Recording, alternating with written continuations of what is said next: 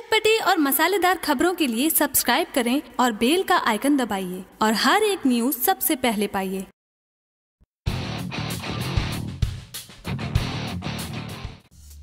सलमान खान की film tiger ज़िंदा है। अभी भी बॉक्स ऑफ़िस पर तहलका मचा रहा है। रोज़ाना टाइगर ज़िंदा एक नया रिकॉर्ड बनाती हुई नज़र आ रही है। रिलीज़ होकर करीब 27 दिन हो चुके हैं, लेकिन लगता है कि सलमान खान की टाइगर ज़िंदा है।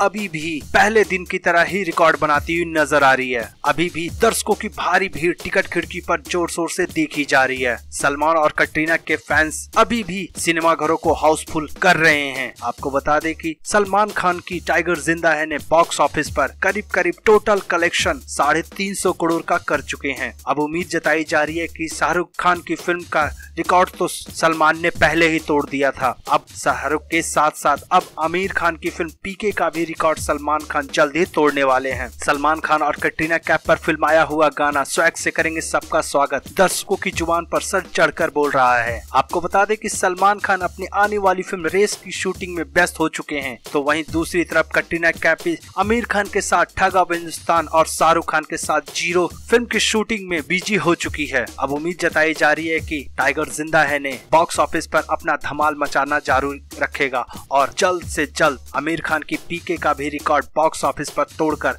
नंबर वन की पोजीशन हासिल कर पाएगी।